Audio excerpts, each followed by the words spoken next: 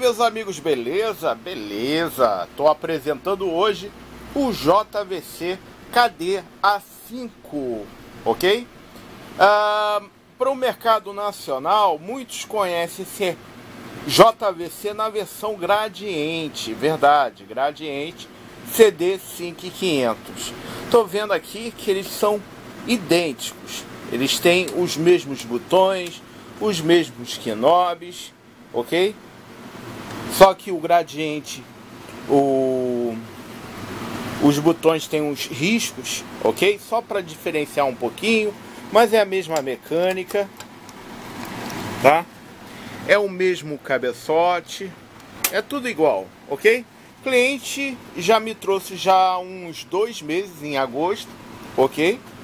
E ficou dentro da caixa, retirei ele, ok? Só que o cliente deixou ele com uma certa folga dentro da caixa, né? Que agora que eu tô vendo que existe duas avarias aqui na pontinha, tá? E aqui em cima tá meio empenado, como tivesse é, levado um soco dentro da caixa, ok? Então tá aqui, a gente vai abrir, dar uma olhadinha dentro do aparelho, lembrando que ele quer fazer uma geral no aparelho, ok? E outra coisa, e na internet estou com uma certa dificuldade de conseguir o, o KD A5 como esquemário, como, como fonte de informação, né?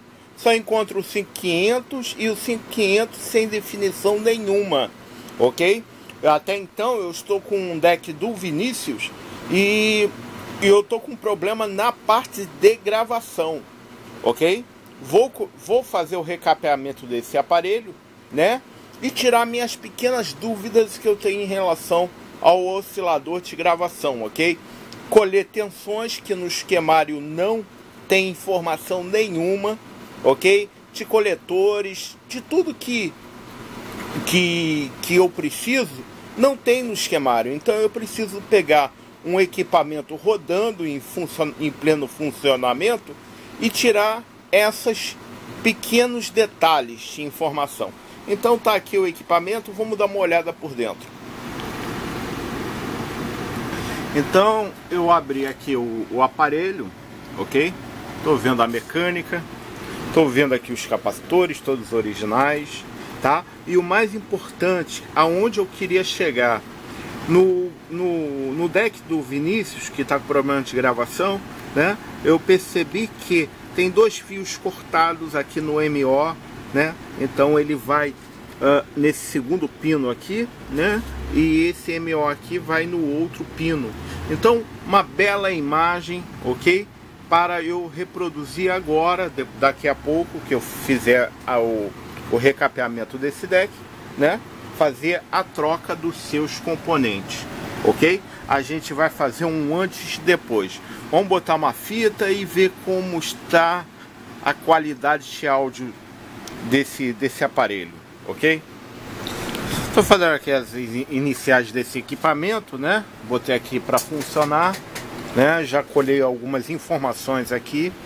É, eu encontrei algum, alguns probleminhas no outro deck, né? Eu peguei aqui uma informação lá do meu primário, ok? Eu tenho aqui no coletor 12 volts ponto 6, ok? No coletor de cada transistor aqui do meu oscilador. Uh, tenho aqui no primeiro secundário, que é a cabeça apagadora 10.8, ok? 10.8 para normal, para apagadora. Tenho 11.8 para ferro. Tenho 16.1 para cromo. E 19.2 para metal, para fazer meu apagamento, ok? Essas são as minhas referências. Aqui o meu segundo secundário, que é a tensão de oscilação e polarização das minhas bias, eu tenho 70. Tem que, tem que fazer o seguinte: tem que aumentar a escala. aqui, senão não vai dar certo e ele não vai, não vai mudar. Ok? Então, eu tenho 79.1 para metal.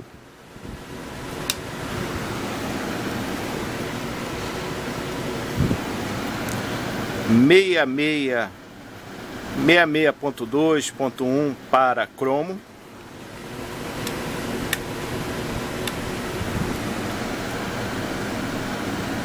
Tenho 48 para ferro.